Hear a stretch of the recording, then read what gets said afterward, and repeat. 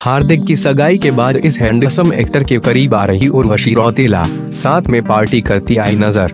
Bollywood actress Urvashi Rautela industry की bold actress में से एक हैं। वे सोशल मीडिया पर काफ़ी एक्टिव रहती हैं और अपनी तस्वीरें शेयर करती रहती हैं।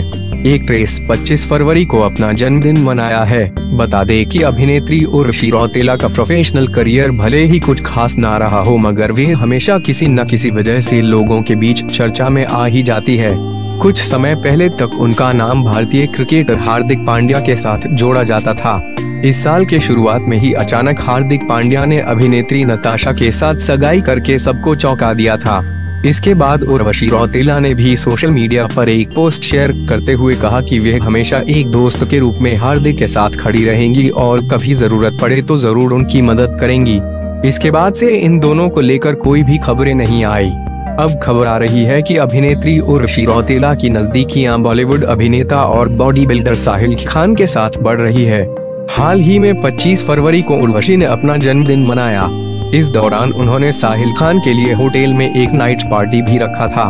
दोनों ने केक काट कर खूब मौज मस्ती किए इस पार्टी की तस्वीरें भी सोशल मीडिया पर सामने आई है। इन दोनों को कई बार साथ में भी देखा जा चुका है। बता दें कि साहिल खान बॉलीवुड के कुछ गिने चुने फ़िल्मों में ही नज़र आए थे। स्टाइल और एक सक्यूज मीटर जैसे फ़िल्मों से उन्हें लोकप्रियता मिली थी। लेकिन बाद में लगातार फ़िल्में फ्लॉप होने के कारण उन्होंने एक्टिंग छोड़ दी और बॉडी बिल्डिंग में अपना करियर बना लिया।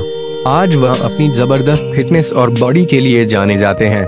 वही अभिनेत्री उर्वशी रौतेला को आखिरी बार फ़िल्म पागलपंती में देखा गया था। यह फ़िल्म बॉक्स ऑफ़िस पर फ्लॉप साबित हुई थी।